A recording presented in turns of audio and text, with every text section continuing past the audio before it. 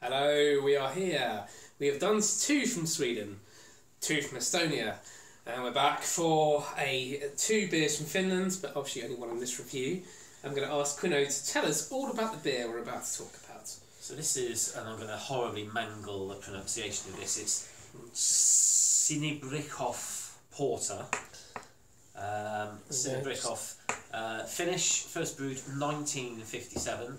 The alcohol content is 7.2%. Um, and there's some blurb in here about uh, it was Russian. So um, this the guy started this, packed his family into wagons and set off towards Finland to make his fortune. Uh, blah blah blah blah blah blah. Um, Oh, Bangs this is on- dark. bangs on about porter for a bit. Isn't it nice in the winter? Yeah. Um, okay, so unlike many Baltic porters, this is a nice bit of knowledge. Um, Sinebrychoff's version is brewed with top fermenting yeast from Guinness, no less. The beer is unfiltered, although excess yeast is removed by separation. It's also brewed with four different malts Pilsner, Munich, Brown, and Caramel, and the hopped with Saaz and Nugget hops. The Beverage Testing Institute in Chicago. We have the Reading Testing Institute here? This is it. This is it. This is, know, Ranked it among the United States best imported beers, and it has twice won silver in the Brewing Industry International Awards. That sounds a bit more of a big thing to win. The Beverage Testing Institute in Chicago. I mean, look at the head. Yeah. It looks. It's just brown. It's completely brown. Yeah, that looks like it's going to be a beast. It is going to be a know, decent I've, I've got some, so I'll put my uh, disclaimer in. I have had this before um, when we were on holiday in Finland, which is where this bottle came from. Um, on Sunday, we were in Helsinki and we'd just touched down and we'd checked in and we were desperately looking for somewhere good to eat. And we traipsed across town to this very highly recommended little independent restaurant with huge queues, but we stuck out the queues and got served eventually. And it just said on the board beers, it just said lager, porter. I can't remember what the other one was, so I said I will have the porter, and this what was came out. And could we find this again in Finland in any of the state-run alcohol shops? Could we bugger? We have to buy this in Sweden. There we go. So, can you, have you read the tasting notes? Do you want to have a little read of those? Yeah. So the tasting notes, uh, dark with a dark tan head. Yes. It has a fairly plain roasted malt aroma without too many notes. We'll find out. But on tasting, it develops into a stronger, slightly burnt coffee flavour. This is spelled American. Um, with hints of toast, licorice, and dried fruit. Bitterness is balanced and hangs on just long enough to finish off the experience. Okay, so it should smell a bit roasty. Okay, let's go for the smell. Oh yeah. yeah. Smells, a bit cho- Smells- smells quite chocolatey as well, actually. It, it's yeah. It smells like those. Um, do you remember? You still get them, I think. I, s- my nan used to get them for me over Christmas. Those famous names liqueur chocolates. and Oh, when- yeah. when you when you get the cellophane off and open it, you go, "Ooh, that smells." Yeah. lovely." That's a very similar smell to me. All the thing, all the fun things I remember from eating them. So how do we say cheers in Finnish? Um, as our person off camera, remember how to do this because I've completely forgotten. So- Kippis. Kippis! Kippis. Ah, Kippis. cheers! Kippis!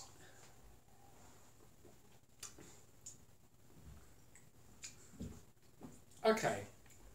I'll be honest, okay. it doesn't taste as nice as I was expecting it to taste. that was kind of, yeah, that was what I thought when I had The it. Saku Porter was nicer. This is really creamy. It's really creamy. It's very roasty. really Yeah, roasty bitter, and bitter, creamy. bitter, bitterly Very bitter, roasted. yeah, yeah. It's, it tastes a bit like alcoholic coffee, I think that's quite a nice way of summing it up very quickly. uh, This which is it. isn't a bad thing, I must say, because I love coffee. But I expected more from this percentage. I must say, I expected it to taste a bit more, had a bit more of oomph to it. It's um. Well, I suppose it depends which way you look at it because um, last- nice though. yeah, I mean the last couple of porters that we've had, um, previous couple of reviews, have they've both tasted quite sweet. Um, the Saku tasted sweet, but it had the balance underneath. This isn't. Um, the the the Avocot just tasted of sort of sweet brownness. Mm. Um, this this kind of has the roast, and it just and it quite nicely disguises the fact it's seven point two. It is quite hefty. Mm. Um, wouldn't necessarily realise it was seven two on the first couple of lips. It is nice. It's not sweet. It tastes like dark chocolate and coffee rolled Yeah, into yeah. one. What do you think, Tony? I'm getting a, a burnt taste. It is a bit burnt. Yeah. Would you say it's No, know when you almost like burnt burnt toast. Would you say it's too burnt, too pronounced? All depends. Yeah, yeah. I, I like it personally, but yeah, that is the um to me that's the the overriding flavour. Burnt toast. It just That- tastes so much like coffee to me.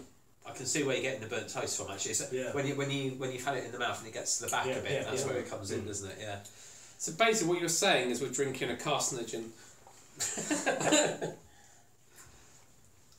it's still nice. Don't get me wrong. This is a nice beer. This is you know, Hmm. if again the litmus test would I rather have this or Doombar Green IPA? This Oh, any day of the week. Like no no questions asked. It's lovely. It's, But- nice.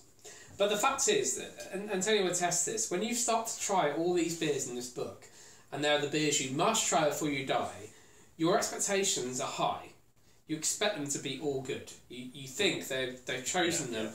And then you start to think, actually, I'm become a bit critical of the book, actually you start to think, have they chosen just a cross section of beers? They've gone, right, this we've got to have beers in from these countries, let's pick these ones. Well, was I, So- I, I believe Bombardier was in the book, wasn't it? It was, it was, So, you know, and so was Doombar, so was Budweiser. I mean, I mean, can you can you imagine if there's like you know this is this is a Finnish beer, right? There's a couple, there's two or three Finnish guys doing the book right now, and they've just got they've so got they've gone to great expense to get a bottle of Bombardier in to do the book, and they're sat there going, "Whoa." But here's the thing: is this book does not is not one thousand one best beers in the world. That is not. It's ones you must try. So it's not about what are best. It's about the difference of beers that are available in the world, different styles, different tastes, different contexts in history. So actually, it's not that all you're never going to like. And also, it would be impossible for you like you like every single beer in the book. It's never going to happen. You'd have to be a functioning alcoholic to them.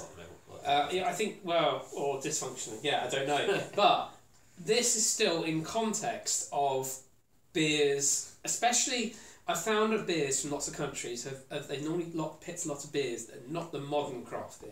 They are the beers that set things going. They're the beers that set the precedent for how the beer industries in those countries Mm. kept going. Now, in now for the USA beers and the Belgian beers and the England beers, it's a bit easier because those those those beer industries are much more mature Yeah.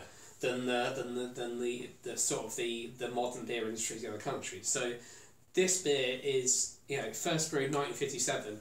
When that came out, this was probably groundbreaking. It's probably a beer that people thought was amazing. It was like you know we've had rubbish beers. You know, we've had lager, we've had crap, you know, and, and this is one that stood the test of time since 57, and it's still a good beer. So I think actually it is very easy to say there are beers in here which are not good, and it's also that you can go, well, actually, they're, they're here for a context, so rant over. Here endeth the sermon. Yeah, well, sorry, I just, you know, I think that's that's the interesting thing about this book, um, is I've been, I've been introduced to such a wide range of different beers Yeah, yeah. um, that I would never have ever had before. Never even be, never would never even seek to try out. Not even the what the exact beers, but the styles of the beers. Yeah. And I've learned to appreciate dark beers so much more Mm. from this. And now I actually drink more dark beers in pubs. Uh, you know, I now drink. Yeah. Yeah, we're, we're me and Quinn are regular drink, drinking buddies. I now drink quite a lot of dark beers. I love a milk stout. Um, I love a porter. Um, they're mild, so um, this is a this is still a good beer.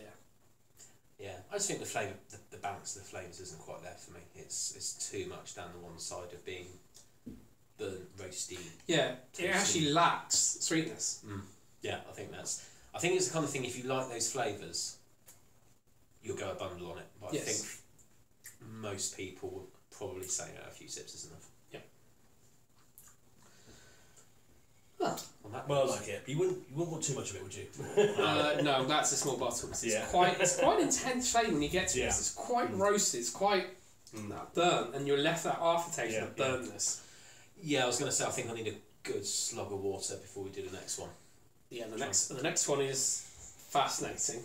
I don't know. The next one is just Uh, we're going to spend quite a bit of time on the, on the bottle in the next one, I think. So, uh, The next one's going to be interesting. yeah, and I, I don't think any of us have any idea what it's going to be like. There's no conception. So, let's leave this one here. We've hit 10 minutes again, which is great. Good trailer for the next vid, though. Uh, yes, Be watching. look forward to the next beer review on 1001 Beers You Must Try Before You Die. Goodbye! Goodbye!